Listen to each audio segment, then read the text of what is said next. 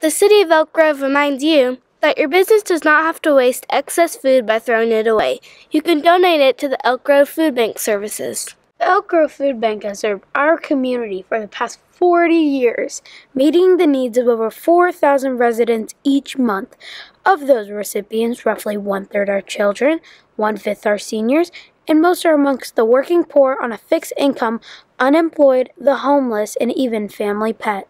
Many Elk Grove businesses have already started donating to our food bank. Acceptable unexpired items include bulk food items, packaged dry foods, non perishable canned foods, meats, fresh produce, dairy, and baked goods. If your business wants to schedule either a one time or recurring donation, contact the Elk Grove Food Bank at 916 685 8453.